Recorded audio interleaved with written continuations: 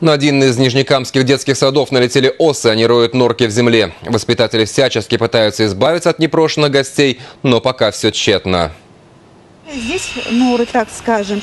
Днем они э, как бы выли- э, вылетают, а э, перед заходом солнца они залетают. Эти небольшие бугорки в земле – осиные норки. Появились они месяц назад. Сначала на территории третьей группы, а потом изрытой оказалась и соседняя площадка. Воспитатели не на шутку испугались. Гулять малышам стало небезопасно. Они все равно переселяются, понимаете? Они были вот в том участке, Избавиться от ос оказалось делом непростым. Насекомых и кипятком заливали, и дихлофосом травили, а они улетать не спешили, разве что одну песочницу меняли на другую, а под конец свили гнездо под крыльцом.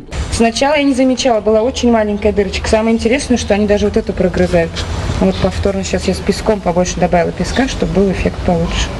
Надеюсь, мы их победили. Осиные норки в крыльце залепили и каждый вечер обрабатывают захлофосом. Педагоги уверены, скоро назойливые насекомые покинут детский сад. В противном случае придется обратиться к специалистам. Они уж точно выселят непрошенных гостей. Альбина Шакирова, Лилия Егорова, Максим Липин, Вести Татарстан, Нижнекамск.